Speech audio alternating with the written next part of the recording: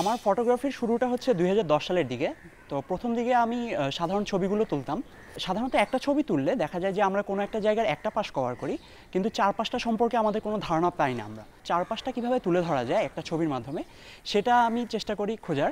তো এক পর্যায়ে আর কি ইন্টারনেটে আমি দেখি যে কয়েকজনের কাজ দেখি, যে এরকম ভার্চুয়াল ট্যুর বা প্যানোরামিক ফটোগ্রাফি এটা কীভাবে করা যায় আমাদের এখানে বা এখনও কী জন্য করা হলো না, সেটা আমি দেখা শুরু করি। তো সেটা করতে যেয়ে দেখতে পাই যে বেশ কিছু ইনস্ট্রুমেন্ট বা কিছু ক্যামেরা লেন্স দরকার হয়, যেগুলো আমাদের দেশে হয়তো পাওয়া যাচ্ছে না। তো আমি সেগুলো চেষ্টা করি যে আমাদের যেই সকল জিনিসগুলো আছে, সেগুলো থেকেই আমি কি সেই কাজটা করতে পারি কিনা।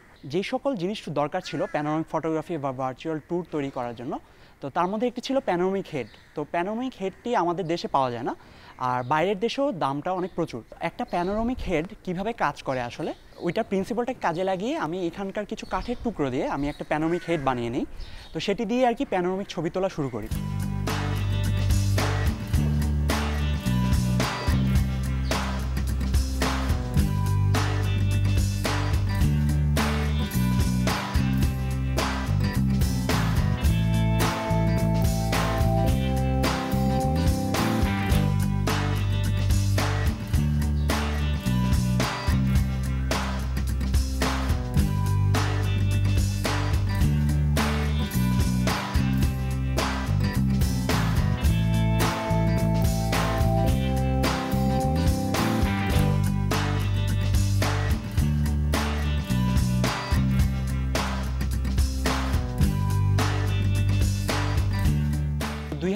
সালের জানুয়ারি মাসের দিকে প্রথমবার আর কি আমি আমার প্যানোরামাটি তৈরি করি। তৈরি করে আমি ফেসবুকের মাধ্যমে আমার বন্ধুদের মাঝে শেয়ার করি। যেহেতু বাংলাদেশে এই ব্যাপারটি নতুন ছিল, তো আমার বন্ধুরা বেশ উৎসাহ দেয় যে এই এই জিনিসটি তো ভালো হয়েছে, তো এই আরও করে দেখতে পারি। তো এরপরে আমি অন্যান্য বাংলাদেশের বেশ কয়েকটি জনপ্রিয় জায়গার, আরও কয়েকটি জায়গার এরকম প্যানোরামিক ফটোগ্রাফি করি।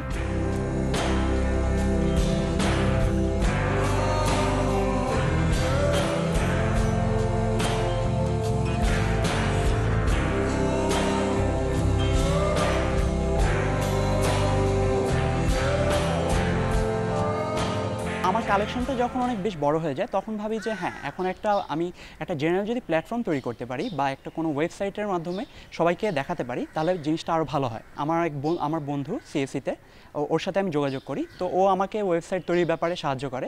আগে থেকেই ইচ্ছা ছিল, আমি যেহেতু প্রোগ্রামিং করি, এটার মাধ্যমে যদি মানুষের কাছে কোনো সেবা পৌঁছে দেওয়া যায় বা বাংলাদেশকে তুলে ধরা যায় বা সমাজের কোনো কাজে লাগে, তাহলে জিনিসটা অবশ্যই করা উচিত। এই আইডিয়াটা যথেষ্ট ভালো লাগছে যে বাংলাদেশের ট্যুরিজমকে প্রমোট করতে চাইলে একটা কিছু করা দরকার। এখন এরকম অনেক কিছুই করা যায়। এখন এটার জন্য ফটোগ্রাফিটা যথেষ্ট একটা উপযোগী মাধ্যম। তো প্রথম দিকে আর কি আমরা যেই সব প্যানোরামাগুলো তৈরি করি, সেগুলো মোটামুটি ঢাকার আশপাশেই ছিল। তো তারপরে আমরা ঢাকার বাইরের বিভিন্ন জায়গার প্যানোরামা তৈরি করা শুরু করি। এই পর্যন্ত আমরা মোট পাঁচটি জেলার প্যানোরামা পাঁচটি জেলার বিভিন্ন জনপ্রিয় বা ঐতিহ্যবাহী যেসব জায়গা রয়েছে সেই সব জায়গার প্যানোরামা তৈরি করেছি। এই সব প্যানোরামাগুলো আমরা ওয়েবসাইটে আমাদের আপলোড করা আপলোড করি একটা প্যানোরামা তৈরি করার পর।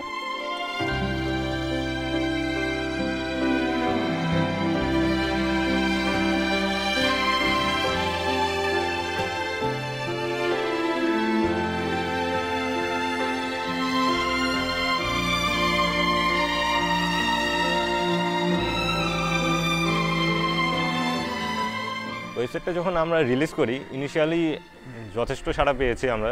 বাসায় আগে জানতো না যে এই টাইপের কাজ করতেছি। পরে যখন তারা পেপারে ফার্স্ট যখন আমার এই এই ফিচারটা আসে তারপর তারা জানতে পারে তারা এত আনন্দিত হয় যে এটা আমি বলতে বোঝাতে পারব না। এরকম বাংলাদেশে বিভিন্ন জায়গায় ঘুরে ঘুরে যে প্যানোরামা তৈরি করার এটি একে যেমন সময় সাপেক্ষ তেমনি হচ্ছে আমাদের ব্যয় সাপেক্ষ। তো আমরা যেহেতু স্টুডেন্ট সেই ব্যয়টা হয়তো আমরা ওরকমভাবে বহন করতে পারব না।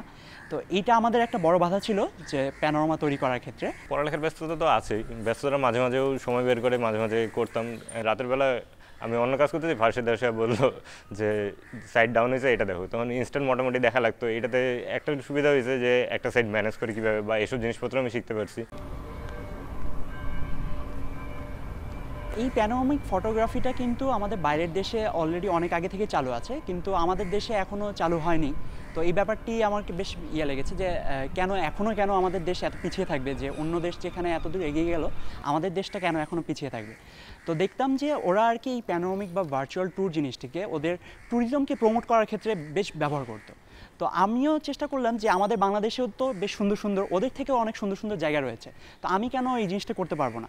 যাতে কোনো একজন ট্যুরিস্ট ওইখানে থাকলে সে যেরকম অনুভূতিটা পেত সেটা যাতে ওই কম্পিউটার ভার্চুয়ালি সে পেতে পারে। তাহলে হয়তো আমাদের ট্যুরিজমটা আরেকটু এগিয়ে যাবে। কাজটা যেরকম আমার শুরু হয়েছিল ভালো লাগা থেকেই। জিনিসটা আইডিয়াটা ভালো লাগছে সেক্ষেত্রে শুরু করছি। এবং তারপর জিনিসটা শেখার পর আমাকে নতুন নতুন অনেক কিছুই শিখতে হয়েছে। এবং এগুলো শেখার জন্য যথেষ্ট টাইম দিতে হয়েছে। যারা নতুন কিছু শুরু করতে চায় তাদের ক্ষেত্রে অনেক ধরনের নতুন প্রতিবন্ধকতা থাকবে যে যেগুলো আগে অনেকেই হয়তো ফেস করেনি। তো সেই ক্ষেত্রে পিছিয়ে গেলে চলবে না। কারণ নতুন কিছু শুরু করতে গেলে বাধা থাকবেই। এসব ক্ষেত্রে যে সকল বাধা, সেগুলো অবশ্যই একাই উতরাতে হবে। এই ক্ষেত্রে অন্যদের সাহায্য অন্যের কোনো অপেক্ষা করে লাভ হবে না। অনেক কিছু পারি না বা এই রিসোর্সটা নাই বা এসব জিনিসপত্র অনেকে সহযোগিতা করতেছে না, সেটা নিয়ে হতাশ হওয়ার কোনো নাই, সেটা নিয়ে লেগে থাকতে হবে। একসময় লেগে থাকলে দেখা যাবে একসময় আমার কাজটা বাধাটা অতিক্রম হয়েছে। নিজেকে আর কি কোনো উঁচু স্থানে দেখতে চাইলে আর কি অন্যের ব্যানার ইউজ না করে নিজেই যাতে একটা ব্যানার তৈরি করতে পারি এরকমও একটা পরিস্থিতি তাকে নিজেকেই ক্রিয়েট করতে হবে। ধৈর্য ধরে লেগে থাকলে একসময় সফলতার মুখ দেখা যাবে। নতুন কিছু বা ভালো কিছু করার ক্ষেত্রে দেখা যায় যে আমাদের অনেক প্রতিযোগিতার সম্মুখীন হতে হয়। তো এই ক্ষেত্রে আমরা নিজেদের মধ্যে প্রতিযোগিতা না করে যদি বাইরের বিশ্বে কি হচ্ছে সেই সব বিষয় নিয়ে অন্যদের সাথে বাইরের বিশ্বের সাথে যদি প্রতিযোগিতাটা করি তাহলে দেখা যায় যে শেখার জিনিসও আমরা অনেক কিছু পেয়ে যাই এবং প্রতিযোগিতা আমাদের নিজেদের শেখাটাও অনেক কিছু থাকে।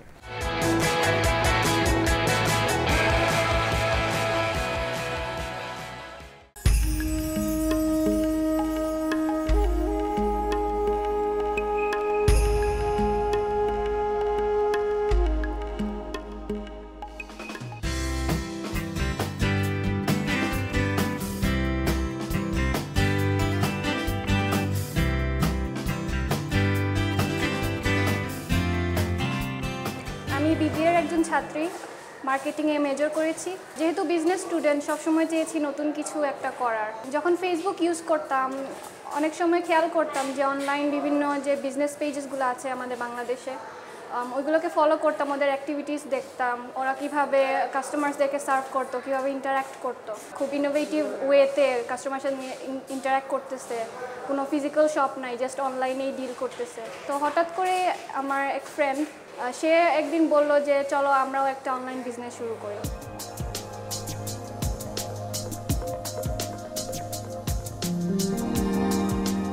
আসলে ছোটবেলা থেকে খেয়াল করতাম আমার আম্মু হ্যান্ডিক্রাফটের আইটেম অনেকগুলা বানাতেন। তো এটা নিয়ে আর কি একটু কিউরিয়াসিটি কাজ করতো যে, জিনিসটা এত সুন্দর, অন্য জায়গায় এটা অ্যাভেলেবল নাও হতে পারে, যেহেতু হাতের বানানো জিনিস, এটা তো ফ্যাক্টরি রিলেটেড জিনিস না। তো এর জন্য আর কি খুব ইচ্ছা ছিল যে বড় হয়ে কিছু একটা করব এই জিনিসগুলো প্রমোট করব। প্রথমে আইডিয়া পাওয়ার পর এটার উপর কাজ করা শুরু করলাম মার্কেট রিসার্চ করলাম যে এই প্রোডাক্টের ডিমান্ড কীরকম হতে পারে, যেহেতু ইনোভেটিভ প্রোডাক্ট তো মার্কেট রিসার্চ করার পরে দেখলাম যে এটা বলতে গেলে পুরো বাংলাদেশে নেই। তো এই কারণে আমরা চিন্তা করলাম যে আইডিয়াটা একটু কাজ করলে ঠিকমতো যদি আমরা প্রমোট করতে পারি, তাহলে জিনিসটা অনেক সাকসেসফুল হবে। এটার নাম কি দিব? আমাদের অনলাইন পেজের নাম কি দিব? কাস্টমার সাথে ইন্টারাক্ট কীভাবে করব? কীভাবে প্রমোশন করব যাতে কাস্টমাররা আমাদের কাছ থেকে কিনে জিনিসগুলা? গত বছরের জুলাই মাসের পঁচিশ তারিখে আমাদের অনলাইন বিজনেসটা বিজনেস পেজটা লঞ্চ করি, যেটার নাম হচ্ছে শপিং বাজ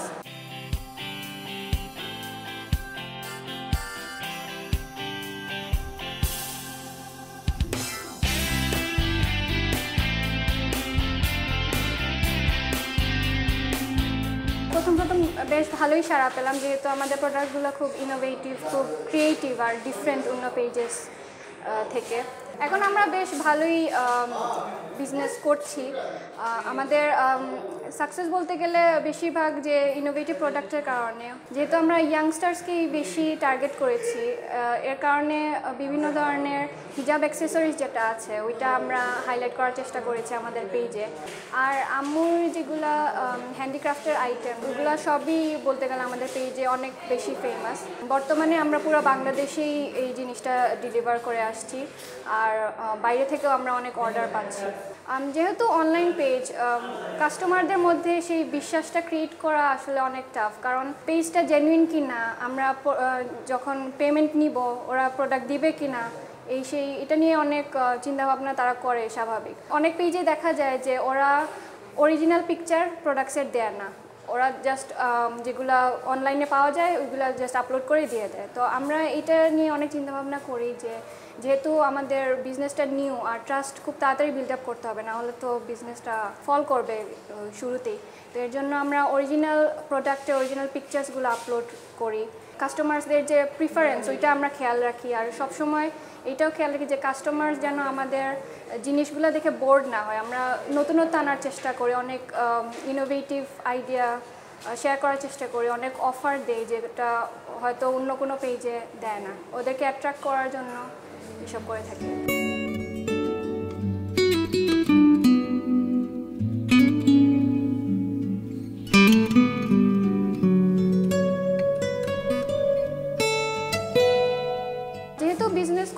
বাধা তো আসবেই। সেগুলোকে ওভারকাম করাই আসলে খুব বড় একটা ব্যাপার। এর জন্য স্যাররা ভার্সিটির স্যাররা আমাদেরকে অনেক হেল্প করেছেন। ওনারা অনেক আমাদেরকে সাজেশন দিয়েছেন। এরপরে আমরা নিজেও অনেক চিন্তা করেছি। তো বিভিন্ন স্ট্র্যাটেজি বানাতে হয়েছে। কোনো জিনিস, নতুন জিনিস ইন্ট্রোডিউস করার আগে আমাদেরকে অনেক কিছু চিন্তা করতে হয়। যে কাস্টমাররা এই জিনিসটা আসলে অ্যাকসেপ্ট করবে কিনা? যদি না অ্যাকসেপ্ট করে, তো অন্যভাবে কীভাবে ওদেরকে অ্যাট্রাক্ট করতে পারব এই প্রোডাক্টের প্রতি? আপনারা আমাদেরকে সাজেশন দেন, আপনারা কী ধরনের প্রোডাক্ট আমাদের কাছে থেকে আশা করছেন? সেটা আসলে আমরা খুব কেয়ারফুলি দেখি অবজার্ভ করি। তো ওনারা যেটা বলেন, ওইটা আমরা চেষ্টা করি। এক্সিকিউট করার, যখন পাবলিশ করি আমাদের পেজে আপলোড করি পিকচার্সগুলো তো ওদের সারাটা দেখে আসলে বোঝা যায় যে জিনিসটা ওরা কতটা পছন্দ করেছে। বাংলাদেশে দেখা যাচ্ছে যে অনেকেই এখন অনলাইন বিজনেসের প্রতি বা নিজের উদ্যোগে কিছু একটা করার চেষ্টা করতেছে স্পেশালি ফিমেলস যারা, তারা। আমি তাদেরকে বলব যে আপনারা যদি কোনো জিনিসের প্রতি প্যাশনেট থাকেন, তখনই এই জিনিস নিয়ে বিজনেস করা উচিত। ছোট পরিসরে কোনো একটা বিজনেস শুরু করলেন, কিন্তু পরে গিয়ে যদি জিনিসটা বড় হয় গ্রোথের মাধ্যমে তো বড় হবে এক না একদিন এক্সপান্ড করবে বিজনেসটা তখন যদি বলেন যে, না, আমার ভালো লাগতেছে না এই বিজনেস করতে, আমি আর করব না। বা বিভিন্ন ব্যস্ততার কারণে সময় দিতে পারছি না। পরে আপনারই খুব খারাপ লাগবে, কারণ যখন আপনি বিজনেসটা শুরু করবেন, খুব কষ্ট করে আসলে জিনিসটা শুরু হয়। এরপরে যদি আপনি কেয়ার না করতে পারেন, তো ভালো হবে আপনি এই উদ্যোগটা না নেন। আর যদি আপনি চান কিছু একটা করতে ভবিষ্যতে ফিউচারে এই জিনিসটা আরও এক্সপান্ড করতে চান, তাহলে আমি বলব যে আপনি সবার আগে এই জিনিসটা নিয়ে প্যাশনেট থাকেন। প্ল্যানিংটা করেন আপনি কীভাবে ভবিষ্যতে এই জিনিসটা এক্সপান্ড করতে চান, কোন পজিশনে নিয়ে যেতে চান। টার্গেট মার্কেটটা যদি আপনার ক্লিয়ার থাকে, তাহলে আপনি ওদের প্রেফারেন্সটাও বুঝতে পারবেন। আপনার ক্রিয়েটিভিটি আর কাস্টমার প্রেফারেন্সটাই আপনার বিজনেসটাকে এগিয়ে নিয়ে যাবে।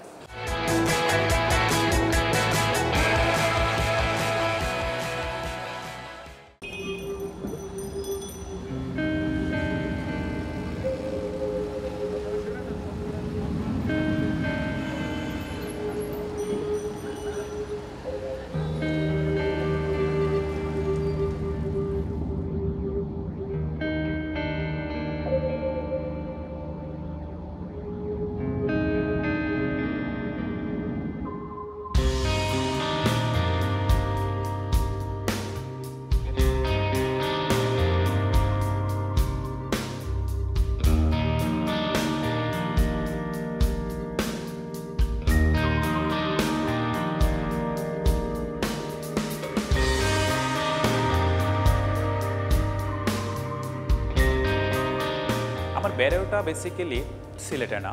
বাবা গভর্নমেন্ট জব করতো, সুনামগঞ্জে বাবা জব করতো। জবের ক্ষেত্রে অনেকগুলো সেক্টর চেঞ্জ করতে হয়েছে বাবার। তো বাবারে আমি যখন দেখছি স্কুল লাইফ থেকে জব করতেছে, তো জব কারও আন্ডারে বা কোনো একটা জব করা কতটা সাফার করতে হয়, সেই জিনিসগুলো দেখে দেখে তখন আমার জবের প্রতি একটু অনীহা চলে আসছিল। যাতে স্বাধীনভাবে কিছু একটা করা যায় এবং কারও আন্ডারে কাজ করতে না হয়, কারও কথা শুনতে না হয়, কোনো কাজের জন্য কারও কাছে কৈফত দিতে না হয়। সেখান থেকেই শুরু হওয়া, তারপরে কলেজ লাইফ তারপর তো ইউনিভার্সিটি তখন থেকেই চেষ্টা। বাট সব কিছু হচ্ছে লেখাপড়া শেষ না করে বাবা কিছুতে দিতে রাজি ছিল না ফ্যামিলি থেকে, সেই সাথে হচ্ছে ইউনিভার্সিটি পড়াশোনার একটা পেশার ছিল। চিন্তা ভাবনাটা তখনই ছিল। বিকালবেলা যখন আমাদের কোনো কাজ থাকে না, আমাদের ইউনিভার্সিটি শেষ হয়ে যায়, আমি আমার ফ্রেন্ড আড্ডা মারতে বের হয়েছি। তো আমাদের আড্ডা মারারও সিলেটে অপরচুনিটি খুব জায়গা কম, ছোটো ছোটো পার্ক কম। বাট শহরের বাইরে গিয়ে আবার টাইম পাস করা যায়। তো সেই ক্ষেত্রে আমরা সাইকেল কিনবো ডিসিশন নেই। সাইকেলে যেহেতু একটা ট্রেন চলে আসছিল ট্রাভেলের জন্য এবং সিলেট শহরটা খুবই ছোটো, দেখা গেছে কি একটা জায়গা থেকে একটা জায়গার ডিস্টেন্সও খুবই কম। এই সাইক ট্রেন্ডের সাইকেলগুলো যখন নাই সিলেটে সো আমরা, আমি এবং আমার ফ্রেন্ড ডিসিশন নিলাম যে সাইকেল যখন আমরা খুঁজে পাই নাই। তো সিলেটে সবার জন্য সাইকেল যাতে অ্যাভেলেবেল হয়, সেজন্য আমরা একটা শোরুম দিয়ে দিই। সেই থেকেই প্ল্যান করা।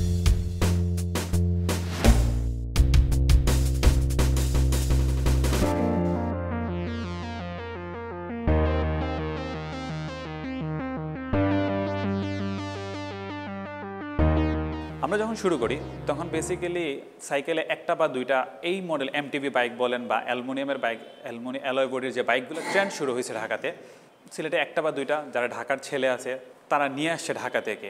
তখন পর্যন্ত মানুষ জানতো না যে সাইকেলের প্রাইসগুলো এত হাই রেঞ্জের হইতে পারে, বিশ, তিরিশ, চল্লিশ, পঞ্চাশ, এই ধরনের হইতে পারে বা এই ধরনের কোনো বাইক বাইসাইকেল আছে। আমরা জানতাম না যে সাইকেলগুলো আদৌ মানুষ ক্যাপচার করবে কিনা, মানুষ এগুলো পছন্দ করবে কিনা, নিবে কিনা।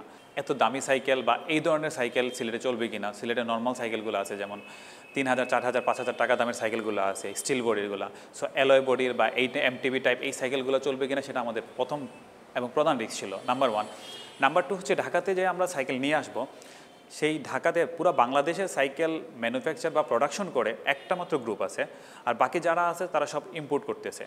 সো ইম্পোর্টের সাইকেল আমাদের দিবে কিনা সেটা একটা প্রবলেম ছিল। সো আমরা যখন ঢাকাতে কন্ট্যাক্ট করি, তখন অনেক প্রবলেম হয়েছে, কেউ সাইকেল দিতে রাজি না। তারপরে আমরা দুই থেকে তিনজন ডিলার পাইছি ঢাকাতে, পুরান ঢাকাতে, বংশালে। তারা আমাদেরকে সাপোর্ট দেওয়ার জন্য প্রস্তুত হয়েছিল। তখন সেই থেকে জুন থেকে কাজ শুরু, তারপরে শোরুম নেওয়া। খুব অল্প কিছু সাইকেল নিয়ে আমাদের শুরু করা ছিল তখন, তিরিশটা বা পঁয়ত্রিশটা সাইকেল ছিল আমাদের তখন। আর এই সাইকেলগুলা একদম প্যাকেট হয়ে আমাদের এখানে আসে। তো সাইকেলগুলো ঠিক করার জন্য বা সাইকেলগুলা অ্যাসেম্বলিং করার জন্য আমাদের এখানে লোকাল যতগুলো সাইকেলের দোকান ছিল ওখানে যারা মেকানিক ছিল তারা কিচ্ছু পারে না। এবং এই জিনিসগুলো তারা দেখেও নাই। সো আমি এবং আমার ফ্রেন্ড যে জিনিসটা হয়েছে অনলাইনে ইউটিউব থেকে দেখে দেখে বা নিজেদের নিজেদের যে সাইকেলের সাথে যে ডকুমেন্ট দিয়ে দেয়, সেই ডকুমেন্টগুলো চেক করে করে এই জিনিসগুলো আমাদের শিখতে হয়েছে। তো তিন থেকে চার, পাঁচ মাস আমরা শুধুমাত্র এগুলো শিখছি। এখন দেখা গেছে কি, আমরা সব কিছু সাইকেল অ্যাসেম্বলিং করা থেকে যে কোনো ধরনের প্রবলেম হোক, সব প্রবলেমগুলো সলভ করা যায় সিলেটে।